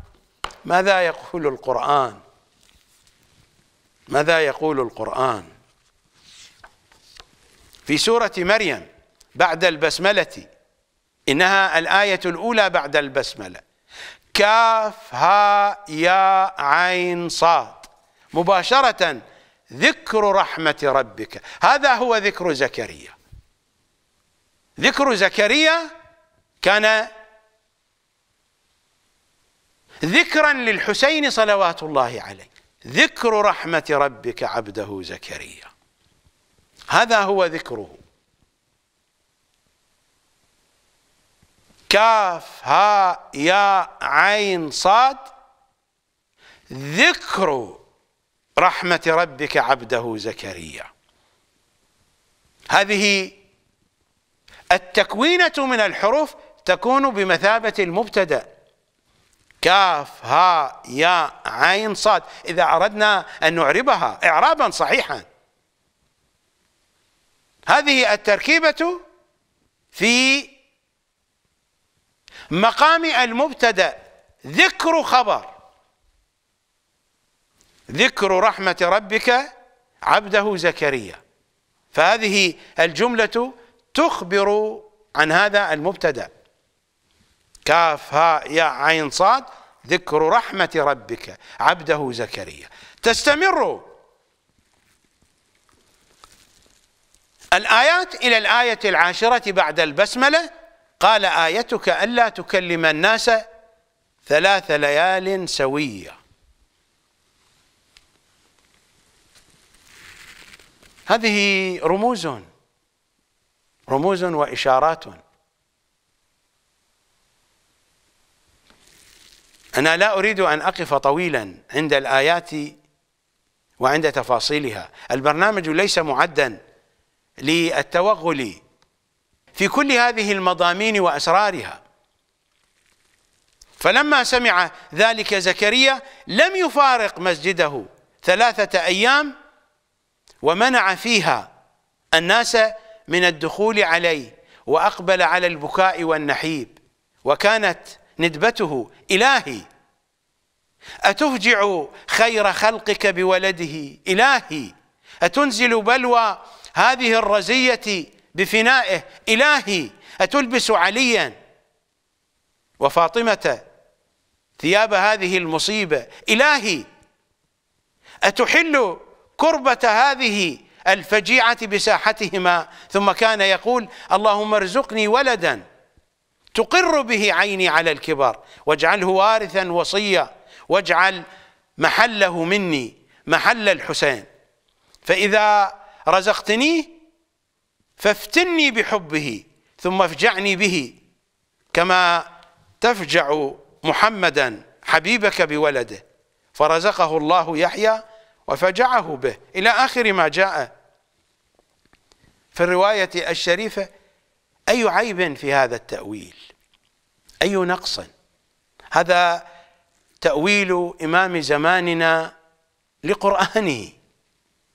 وقرآنه هو الذي يقول عن الله سبحانه وتعالى في الآية السابعة بعد البسملة من سورة آل عمران وما يعلم تأويله إلا الله والراسخون في العلم وهذا هو من الراسخين في العلم إنه الحجة ابن الحسن العسكري. وهذا شيعي جاءه من قم من المدينة التي سيقوم أهلها مع القائم ويستقيمون عليه. فهذا قمي جاء كي يسأل الإمام الحسن العسكري. هناك رمزية. واضحة. فإن الإمام الحسن العسكري أرجع هذا القمية لقائم أهل محمد.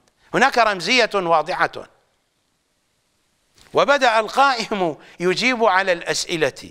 فسأله عن تأويل هذه الآية من قرآن محمد وآل محمد فأولها بهذا المنطق الجميل. أي عيب في تأويل إمام زماننا؟ هذا هو الوائلي العظيم الذي يقول عنه مراجع النجف محمد باقر الصادر الخوئي وسائر المراجع الآخرين بأن الوائلي هو مكتبة الشيعة المتنقلة جامعة الشيعة المتنقلة. إنهم الشيعة الطوسيون وهؤلاء لا علاقة لهم بدين العترة الطاهرة. هذا هو دين العترة الطاهرة. أما الطوسيون فإن الوائلية هو الذي يمثلهم وهو الذي يتحدث باسمهم. رجاء أعيد بث الوثيقة وأتمنى على المشاهدين أن يقارنوا بين تأويل إمام زماننا الذي قرأته عليكم وبين ما يقوله هذا الأخرق الأحمق الجاهل الأثول. انت شقد تلقى لك فد مفسر يجي يقول لك كاف هاي عين صاد الكاف كربلاء والهاء هلاك العترة والعين ما أدري شنو ويقوم يسطر لك من الحكي. ما لا هاي تفاسير وهي بعيدة عن روح القرآن. القرآن العطاء الضخم ما يجي بهالمحاولات هذه ما شلون البسيطة يعني. هاي عقلية وحدة عندها مغزل عجوز مخرفة. كلام ما يقبل بحال من الأحوال أبدا. هاللون من التفسير لا يقبل بحال من الأحوال؟ أنا لا أعلق على كلام هذا الغبي الحقير. هكذا يتحدث عن إمام زماننا صلوات الله وسلامه عليه. القضية لا تقف عند المجالس. لقد ألف كتابا في هذا. تحت هذا العنوان نحو تفسير علمي للقرآن. الدكتور أحمد الوائلي. وهذه طبعة طبعة دار سفينة النجاة. في الصفحة السابعة والعشرين يقول ولماذا لا يكون الكاف كلام وهو يستهزئ بتفسير إمام زماننا بعد أن ذكر من أن كاف كربلاء وقال من أن التفسير نقلته الأحاديث عن الإمام الثاني عشر لكنه يكذب هذا.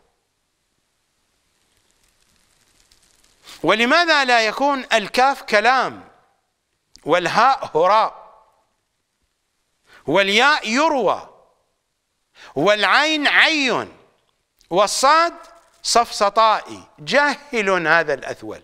صفصطائي لا تكتب بالصاد وإنما تكتب بالسين. سفسطائي جاهل هذا الأثول.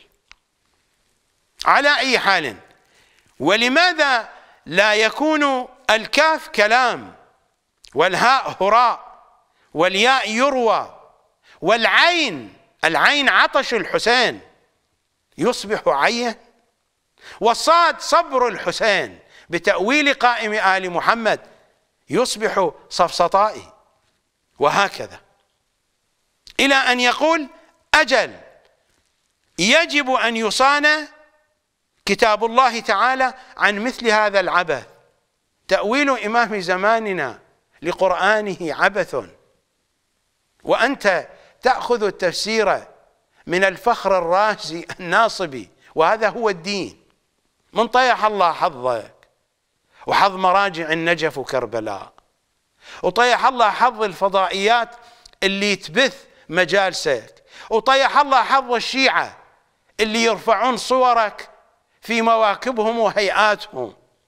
وطيح الله حظ الشيعة اللي ياخذون دينهم منك ومن أمثالك. أجل يجب أن يصان كتاب الله تعالى عن مثل هذا العبث. هذا وين الصنفونه في قائمة رجل الدين الإنسان أو في قائمة رجل الدين الحمار ومن الحمير الكبار. نذهب إلى فاصل. حسن البنا سيد قطب. هذان الاسمان عنوان لكل الإرهاب الإسلامي في العالم. فكل المنظمات الإرهابية خرجت من تحت عباءة هذين اللعينين. ألا لعنة الله عليهما. ألا لعنة الله على من لا يرضى بلعنهما. من تحت عباءة هذين اللعينين النجسين خرجت كل المنظمات الإرهابية في العالم. ومن كتب وافكار هذين اللعينين النجسين تشوهت الساحة الثقافية العقائدية الشيعية بالكامل. كل التشويه الذي لحق بالعقل الشيعي منذ خمسينات القرن العشرين منذ خمسينات القرن الماضي وإلى يومنا هذا بسبب هذين اللعينين النجسين الناصبين القذرين لا لعنة الله عليهما. فكل أحزاب الفساد والقذارة على سبيل المثال في العراق كل أحزاب القذارة والفساد بنيت وأسست على فكر هذين النجسين اللعينين. طالب الرفاعي يحدثنا وبنحو وجيز عن هذين النجسين. أعيد السؤال ماذا تقول وبشكل سريع ومختصر فيه واحد حسن البنا.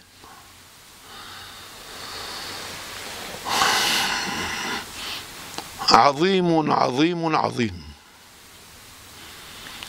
شخصية لا تتكرر. شخصية دعوتية لا تتكرر. ومواهب دعوتية أيضا لم توجد لحد الآن في غيره. سيد قطب.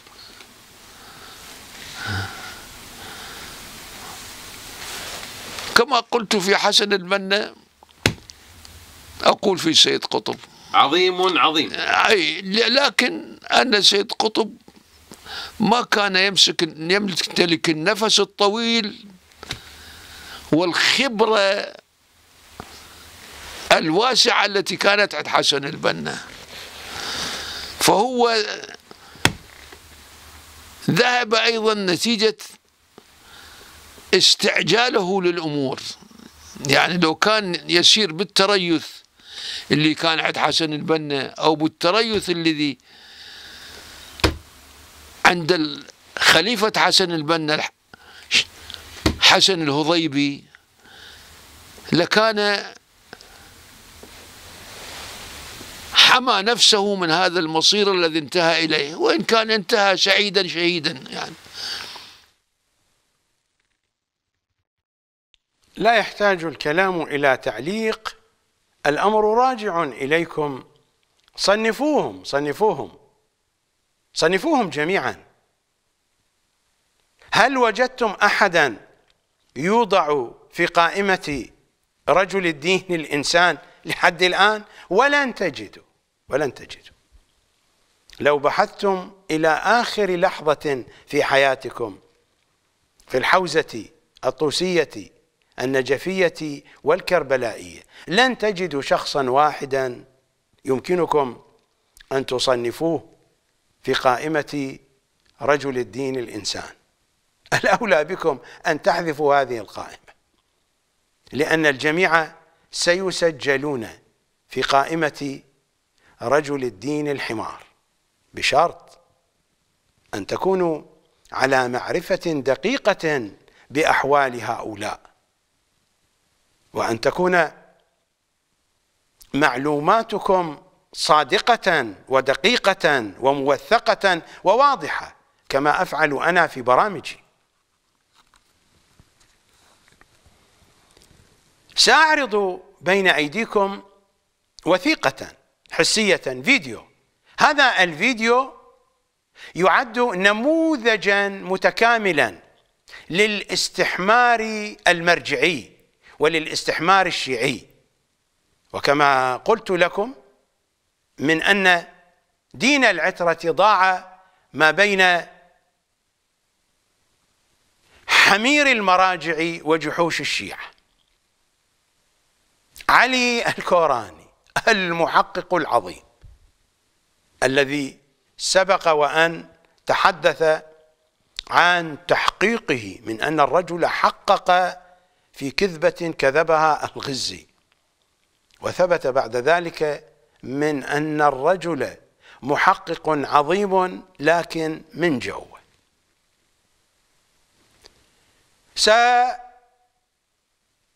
سنطلع على تحقيق جديد من تحقيقات هذا المحقق العظيم. ونشوفه هذه من فوق لو من جوا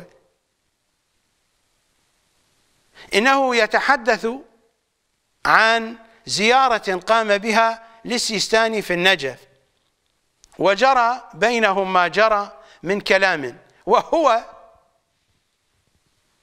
الكوراني. يضلل الشيعة الذين هم جلوس عنده.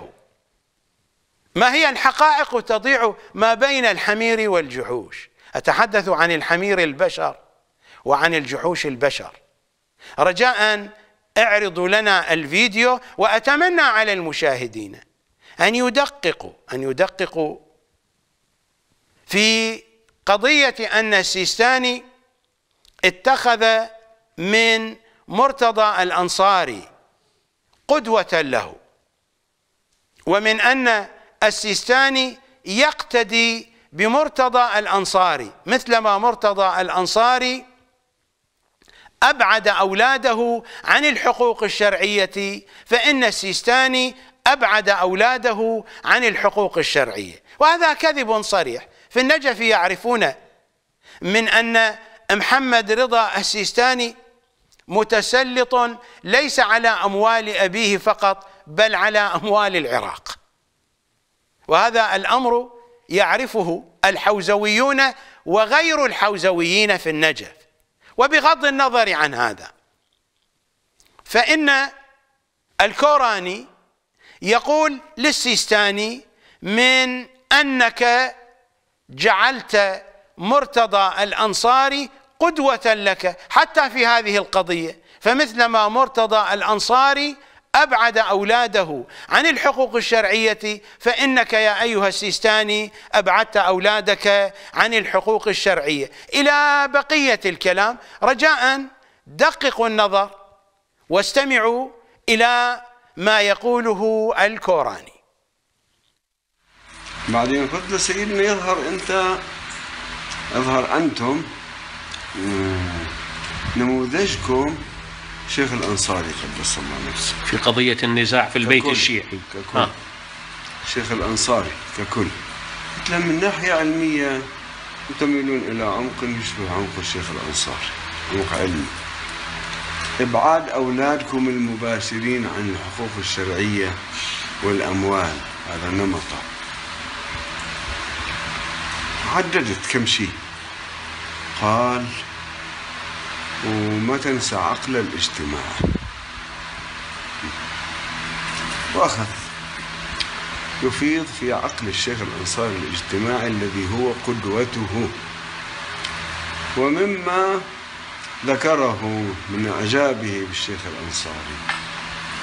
يقول الشيخ الأنصاري نشأت في عصره عدة انحرافات.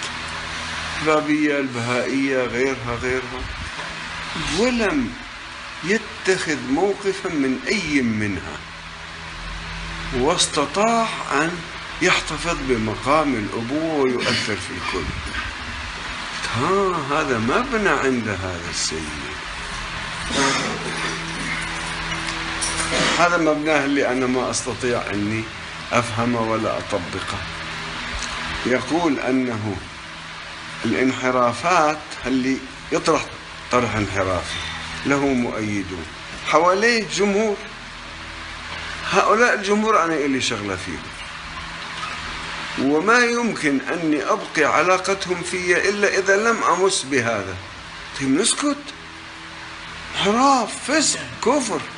هو يرى أنه نسكت عليه إلى حين وحتى نربح الجمهور الذي حوله. يعني الموقف يبني سد بينه وبين هؤلاء. الكرام هذه ناقشتوه شيخنا لو مجرد سمعتوا؟ ناقشت ناقشت عنده رؤية. ناقشته قليلا لكن عنده رؤية. نعم. رؤيته أنه أي منحرف الآن مثلا كمال الحيدري القبنشي اللي عنده القبنشي بالنجف يدعو إلى محاضرة لإبطال القرآن. إلى الالحاد هو سيد رؤيته حسب ما فهمت منه أنا. أنه في أشباه متدينين ذولي مغشوشين بالقبنشي حواليه. خليني أصبر عليه حتى ذولي أجرهم قناعته هذه والله يحاسب الناس على قناعتهم لكن أنا موقفه من المجموعات المنحرفة. هذا إما أن يكون موقف جبان أو أنه موقف شيطان. وأعتقد أن الصفتين تجتمعان في السيستاني فهو جبان ولهذا فإن البعثيين أيدوا مرجعيته إلى أبعد الحدود. وأزاحوا كل العقبات من أمام مرجعيته. من الذي أزاح العقبات من أمام مرجعية السيستاني البحثيون بأمر من صدام. لماذا؟ لأن صداما كان يؤكد لابد أن يكون مرجع النجف جبانا حتى يكون مطيعا لأصغر موظف في الدولة لشرطي في دوائر الأمن البعثيه وهذا هو الذي جرى. جرى على الخوئي. والخوئي انتخب وفقا لهذا النظام لهذا البرنامج لأنه الاجبن السيستاني كذلك. السيستاني لا يواجه الانحرافات التي يقولون عنها انحرافات بحسب ما هم يعتقدون. لماذا؟ لأنه جبان ولأنه شيطان. ما هذا المنطق من أنه يريد أن يكسب الناس الذين حول هذا المنحرف؟ ما هم منحرفون؟ كيف تكسبهم؟ ما هم منحرفون؟ حتى لو كسبتهم ماذا ستفعل بهم؟ ما هم منحرفون؟ لكن قناة القمر لابد أن تحارب. ولا بد أن تغلق. صدقوني يعملون ليل نهار. جواد الشهرستاني وأصدقاء في مصر ومحمد رضا السيستاني والذين بعثهم إلى مصر يعملون ليل نهار. إن كانوا قادرين أن يوقعوا بي أو كانوا قادرين على إغلاق قناة القمر. ولا أدري هل يستطيعون أن يفعلوا ذلك أو أنهم لا يستطيعون. لأن الأموال الطائلة تصنع المستحيل. والله والله يعملون ليل نهار. إلى هذه اللحظة وهم مستمرون في عملهم ومخططاتهم.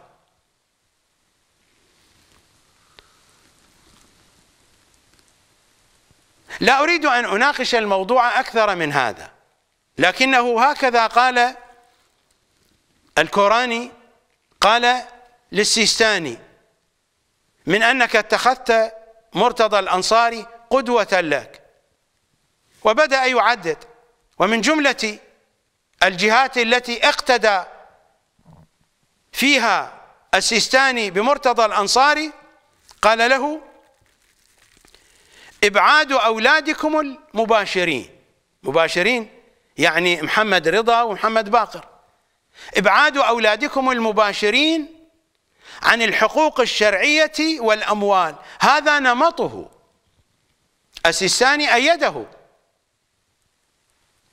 فأضاف من عنده وما تنسى عقل الاجتماعي يعني أن الكلام الذي قاله الكوراني في أن السيستاني يقتدي بمرتضى الأنصاري في مسألة أن مرتضى الأنصاري أبعد أولاده عن التعامل مع الحقوق الشرعية مع الأموال. فكذلك السيستاني فعل اقتداء بما فعله مرتضى الأنصاري. رجاء أعيدوا لنا بث هذا المقطع فقط. بعدين قلت لسيدنا يظهر أنت يظهر أنتم آه، نموذجكم شيخ الأنصاري قدس الله نفسه. في قضية النزاع في البيت ككل. الشيعي. ككل. ها. شيخ الأنصاري ككل. قلت لهم من ناحية علمية تميلون إلى عمق يشبه عمق الشيخ الأنصاري عمق علمي. إبعاد أولادكم المباشرين عن الحقوق الشرعية والأموال هذا نمطه. عددت كم شيء. قال وما تنسى عقل الاجتماع. وأخذ. يفيض في عقل الشيخ الأنصاري الاجتماعي الذي هو قدوته.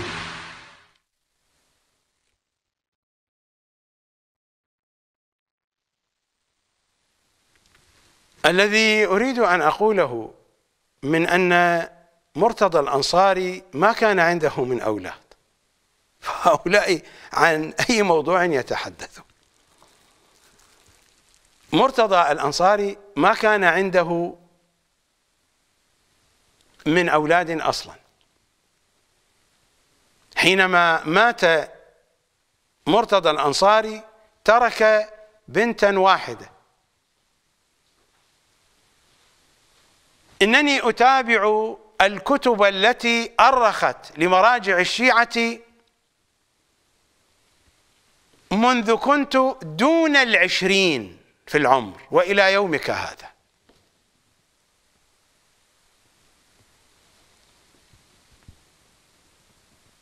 وجدت في بعض الكتب من أن مرتضى الأنصاري ترك بنتين وهذا الكلام ليس صحيحا وليس دقيقا.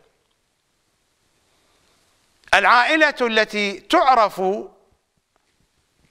بآل سبط الشيخ هم أولاد البنت الوحيدة التي خلفها مرتضى الأنصاري.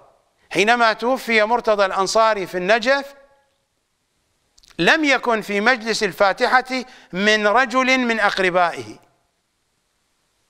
فهو لم يخلف إلا بنت واحدة. فما عنده من أولاد. فمن أين جاء الكوراني بهذا الكلام؟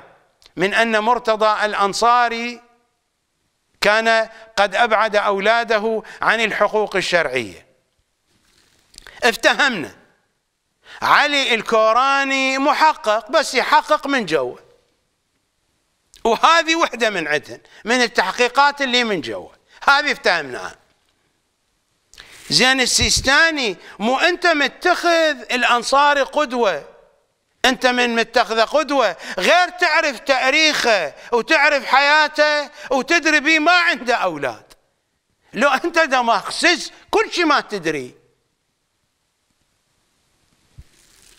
أحدهم يضحك على الآخر بجهله. والآن الكوراني يضحك على الشيعة. ما أنا قلت لكم. ضاع دين العترة ما بين الحمير والجحوش ما بين حمير المرجعية وجحوش الشيعة.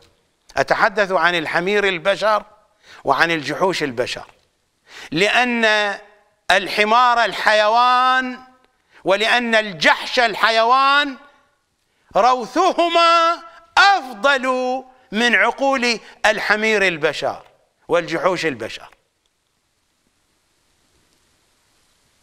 فأين هذه القدوة؟ الموجود على الأرض أولاد السيستاني وأصهار السيستاني وأحفاد السيستاني وجلاوزة السيستاني يعبثون شر عبث. عبد المهدي الكربلائي أحمد الصافي هؤلاء جلاوزة السيستاني. ماذا يفعلون بالأموال؟ فما بالكم بأولاده وأصهاره وأحفاده؟ عن أي شيء هؤلاء يتكلمون؟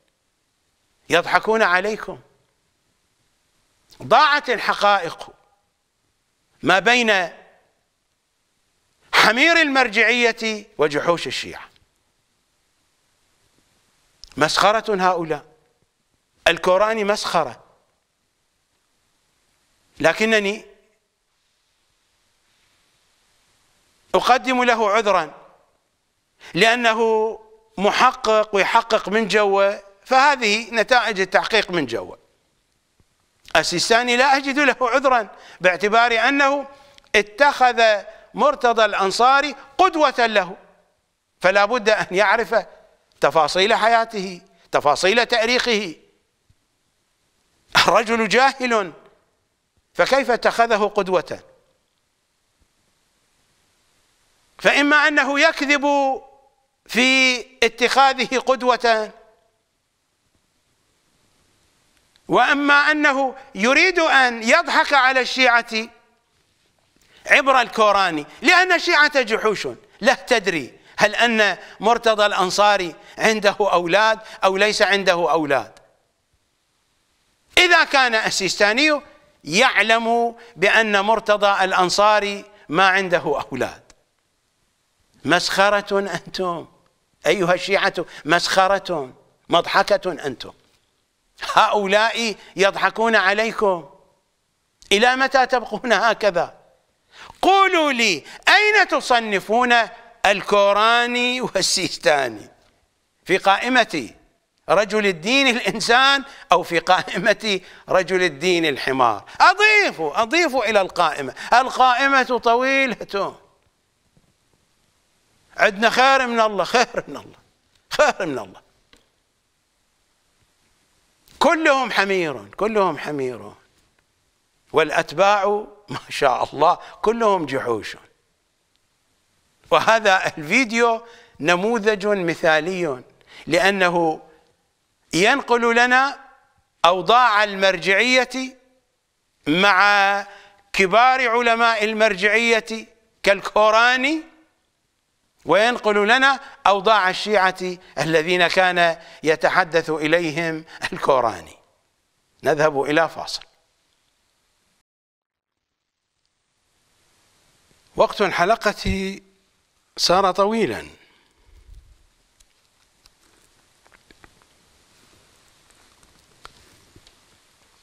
نلتقي غدا كي نكمل الحديث. القائمة طويلة طويلة. ولا أعتقد أنني سأستطيع أن أذكر جميع الذين في بالي وذهني وإنما سأذكر لكم مجموعة من هذه القائمة التي عنوانها مجموعة رجال الدين الحمير. لا أعتقد أنكم ستجدون شخصا تضعونه في الخانة الثانية في خانة رجل الدين الإنسان. نلتقي غدا على أمل أن تكون قلوبنا مفعمة بالحماس لخدمة إمام زماننا صلوات الله وسلامه عليه. بحكمة يمانية ومعرفة زهرائية. زهرائيون نحن والهوى والهوى والهوى زهرائي. أسألكم الدعاء جميعا في أمان الله.